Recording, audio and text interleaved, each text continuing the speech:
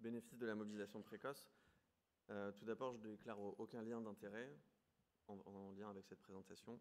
On, va revenir très vite sur euh, les effets de l'alitement, parce que si on parle de mobilisation précoce, c'est qu'a priori, il y a des, conséquences à, cette, à cet alitement prolongé, et donc on a des effets, que ce soit chez les adultes sains, où on voit une diminution de force, une perte musculaire chez les patients qui sont multidéfaillants, et euh, c'est euh, un facteur majeur de faiblesse musculaire à long terme. L'alitement provoque des neuromyopathies, comme on, l'a vu, et on a 25 euh, à 100% de neuromyopathie suivant les, études chez les patients ventilés plus de 7 jours. on a une neuromyopathie qui est un facteur indépendant de l'augmentation de la mortalité. Et donc chez les patients ventilés plus de 40 jours, plus de 14 jours, pardon, on va avoir 50% seulement qui seront sevrés de la ventilation et 19% qui retournent à domicile et la mortalité à un an est de 50%. Donc c'est des chiffres quand même qui sont très, euh, très importants. Et les conséquences sur le long terme, c'est euh, une altération de la qualité de vie, sur, la fonction physique également. Donc ça, c'était un peu les généralités. Tout d'abord, c'est quand commencer déjà? Est-ce qu'on peut commencer la mobilisation précoce? Ça, c'était la première question. Et donc, a priori, c'est faisable et sûr. Il y a des études depuis des années euh, qui montrent qu'il n'y a pas d'événements indésirables graves ou euh, peu, et donc on est aux alentours de moins d'un pour cent d'événements indésirables. Et euh, les événements indésirables souvent sont peu graves, donc une hypotension au décours d'un bord de lit, etc. Et après, maintenant, la question, c'est quelle mobilisation précoce proposer, puisqu'on a dit qu'on pouvait en faire, mais c'est de savoir quelle, quelle, peut être cette mobilisation. Et donc là, il y a euh, les recommandations formalisées d'experts qui ont donné des, les différentes techniques. Donc vous voyez, là, c'est beaucoup de, euh, il y a beaucoup de, textes, mais vous voyez la mobilisation passive, active, renforcement musculaire, électrostimulation, etc. La définition, le but est surtout qui peut le faire, le kiné ou l'équipe de réanimation. Et donc, on a euh, encore euh, d'autres techniques possibles qui rentrent dans la mobilisation précoce. Clément Médrinal l'a aussi résumé dans un autre article de Kiné la Revue. par rapport à l'état du patient, sédaté ou éveillé, et en fonction de quel muscle on voulait essayer de faire euh, travailler, eh bien, on va pouvoir mettre en place euh, différentes stratégies. Donc déjà là, on voit que la mobilisation précoce, c'est très vaste. Donc vous voyez le cycloergomètre, que ce soit au lit du patient, dans son fauteuil. Là, c'est une petite image où on peut aussi coupler de l'électrostimulation au vélo. Vous voyez qu'on va faire des bords de lit aux patients, les faire marcher intubés. Alors, on ne voit pas très bien la photo du milieu, le patient est intubé, ou euh, les verticaliser sur des tables de verticalisation. Euh, et qui sont intubés quand même. Donc, quelle mobilisation précoce? Là, on voit la distribution dans une étude de RID en 2018. Euh, on voit la distribution de l'activité physique, enfin de la mobilisation précoce proposée dans les études. Et donc, on voit, sur, donc sur les 32 dernières années, on voit en 2011-2015 un, pic d'études sur la mobilisation précoce. Et on, voit qu'il y a beaucoup de, euh, thérapies multimodales, donc ou euh, de mobilité progressive, mobilisation progressive, et euh, beaucoup d'électrostimulation. Et on voit qu'en 2016, euh, il y a quand même beaucoup moins d'études sur l'électrostimulation, et on va beaucoup plus s'intéresser à ces deux derniers items que sont la mobilisation progressive et puis des, des activités multimodales. Donc l'autre question, c'est quand commencer C'est le nombre de jours. à, combien de jours on peut commencer la mobilisation précoce? Les RFE de 2013 disent à partir de 24-48 heures, on va pouvoir commencer à mobiliser le patient. Il y a une revue de 117 études, encore de Reed et Hall, qui euh, montre une très grande hétérogénéité dans les études sur quand est-ce qu'on commence la prise en charge des patients en mobilisation précoce. Et là, vous voyez, suivant les items qui, étaient évalués, donc euh, soit électrostimulation, mobilisation passive, vélo, etc., on va avoir une très grande hétérogénéité avec soit des études qui commencent avant 7 jours et quand même beaucoup d'études qui commencent après 7 jours et des études qui vont se prolonger jusqu'à la sortie de l'hôpital ou encore après à 6 mois de, de la sortie d'hospitalisation. Et donc là, c'est pour le dernier item de multi-component où on va avoir encore une grande hétérogénéité des études qui ne commencent jamais au même, au même moment. Après, là, c'est aussi de quand commencer. On a parlé de la durée, à quel moment il faut commencer la mobilisation précoce, mais il faut aussi savoir pour quel patient. Est-ce qu'on peut proposer ça, la mobilisation précoce, à tous les patients? Et donc, encore, la RFE avait donné des contre-indications à la mobilisation qui étaient retrouvées dans la littérature. Alors, c'est toujours un peu le, problème, c'est que c'est des les contre-indications qui sont données dans les études, donc c'est les critères de non-inclusion des patients. Est-ce que c'est réellement des critères de contre-indication à la mobilisation ou c'était simplement des critères pour essayer d'avoir une population homogène? Ça, il faut aussi euh, relativiser.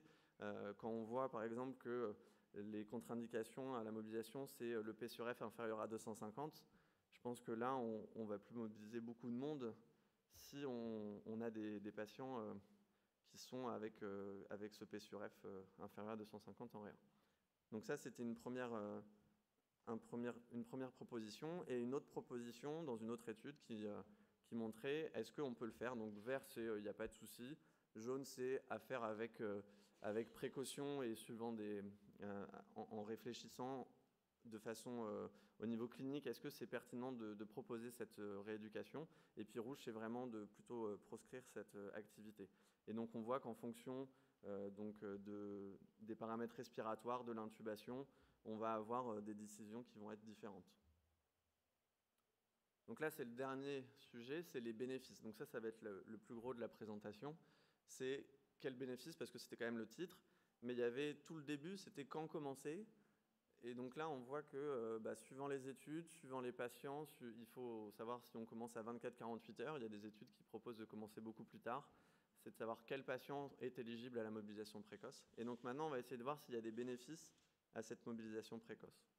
Donc, pour commencer, une des, grosses études euh, qui a évalué euh, la mobilisation précoce, c'était le protocole de Maurice en 2008, qui montrait, suivant l'état de conscience du patient, différents niveaux de mobilisation pour essayer d'aller dans la progression avec un niveau de 1 à 4 et on proposait progressivement plus en plus d'activités aux patients.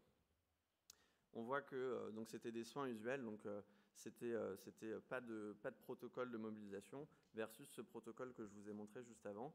Euh, et donc on voyait, euh, donc l'outcome principal, c'est qu'il y avait 80% des patients qui recevaient au moins une séance de mobilisation versus 47% dans le bras contrôle.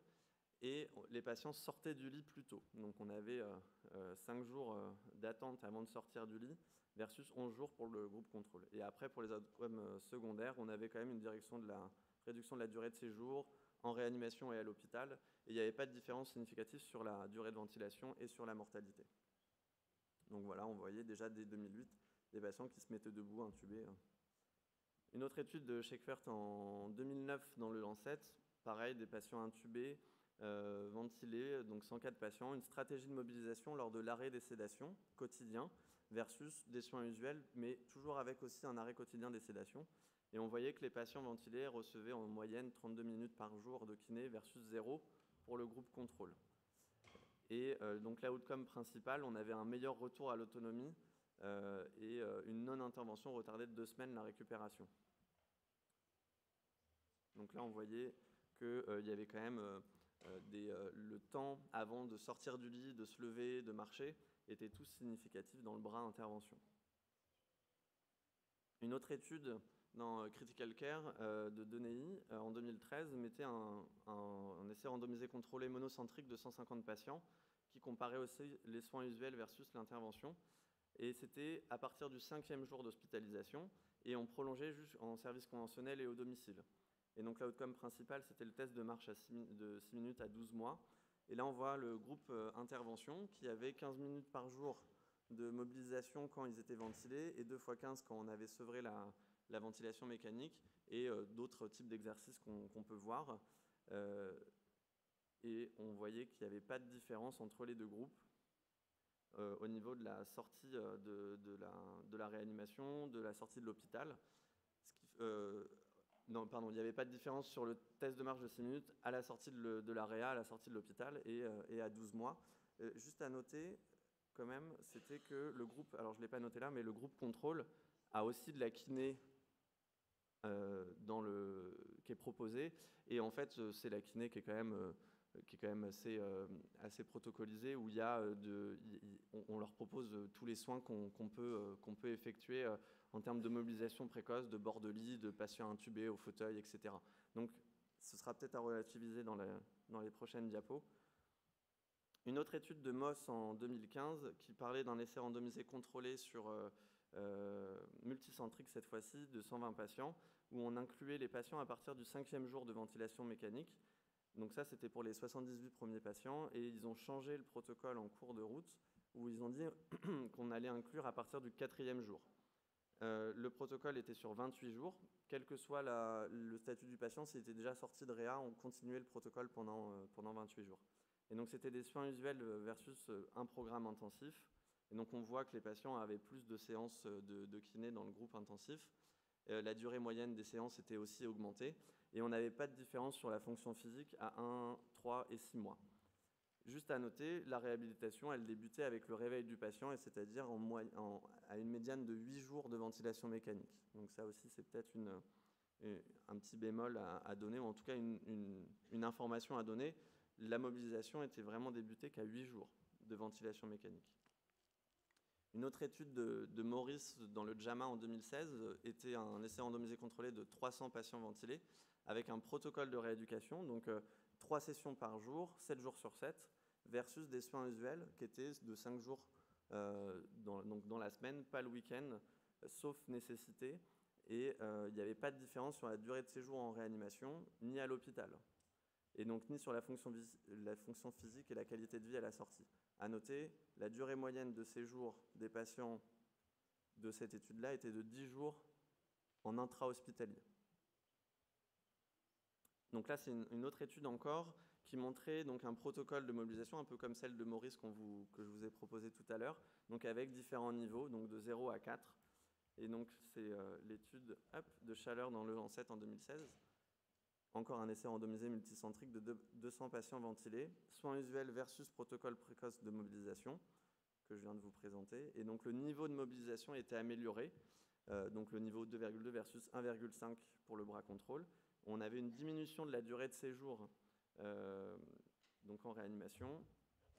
Voilà pour cette étude-là. Et une autre étude de typing, donc, qui est une revue euh, systématique et une méta-analyse euh, publié dans Intensive Care euh, en 2017, montrait qu'il y avait une, euh, donc, une mortalité qui était, enfin des jours vivants qui étaient plus importantes chez le bras intervention, donc avec à noter peut-être une petite différence entre ce que vous voyez bien, early and low dose rehabilitation, donc où là il y avait une, une différence significative donc pour, en faveur du groupe intervention, et par contre, pour l'étude de, Moss en 2016, une, euh, une, rééducation qui était entreprise tardivement, donc à J8, mais avec une haute intensité, où là, il n'y avait pas de différence.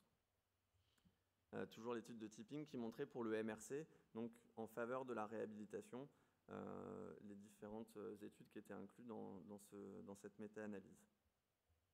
Et donc là, par contre, on voit que pour le, la mortalité à, à la sortie de l'AREA et à la sortie de l'hôpital et à six mois, il n'y avait pas de différence en incluant beaucoup plus d'études euh, sur, sur ce, ce Surfer Donc là, les deux dernières études que je vais vous présenter, c'est l'étude de, Fossa en 2018 euh, publiée dans le JAMA.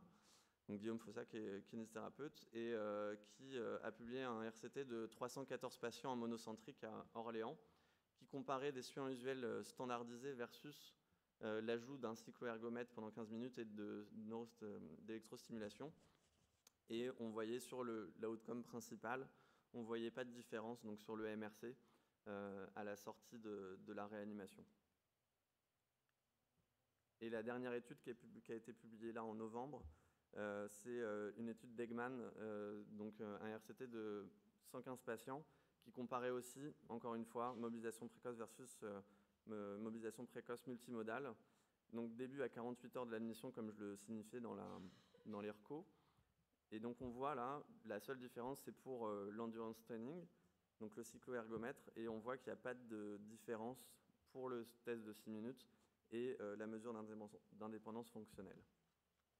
Alors ça, je ne vais, vais pas en parler puisqu'a priori, ça va être la, la, discussion qu'on va avoir dans une autre euh, session sur quand commencer, peut-être après la levée des barrières et la formation des soignants, puisqu'on voit que euh, l'activité bordeline n'a lieu que dans 16% des cas chez 770 euh, patients ventilés dans 33 réa aux États-Unis.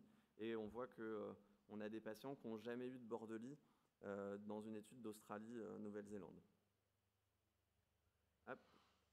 Et donc en conclusion, on a une mobilisation précoce qui est faisable et sûre, ça on a plein d'études qui le montrent. Euh, il y a peut-être des bénéfices sur la mobilisation précoce et à faible dose, euh, et des bénéfices qui ne sont pas démontrés pour la mobilisation précoce à haute dose. Et peut-être que commencer quand le patient se réveille, et donc là c'est plutôt une décision qui va être euh, médicale, de réveiller précocement le patient pour que la kinésithérapie puisse, on puisse mobiliser précocement nos patients mais des patients qui sont réveillés actifs. Je vous remercie pour votre euh, attention.